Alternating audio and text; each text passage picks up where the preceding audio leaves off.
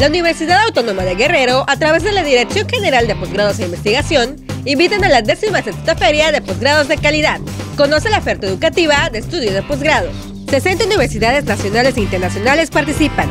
Foro Nemuno Imperial, Salón B, 24 de abril, 12 horas, entrada libre.